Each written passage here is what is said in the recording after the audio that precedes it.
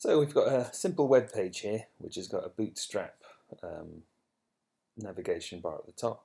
Uh, I've got uh, inside this HTML, there's, there's the core HTML here. I've got H1 uh, title with the word me in it, and I've put it inside a, a span ID which says it's this one.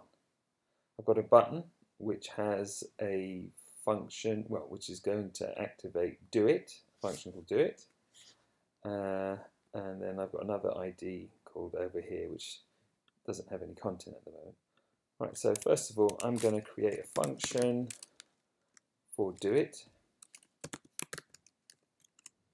And inside that function, I'm going to do something in the document. I'm going to get the element by ID of uh, this one. And I'm going to pick out its inner HTML and I'm going to change it to you. So when do it is, is activated, it's going to change this one to you.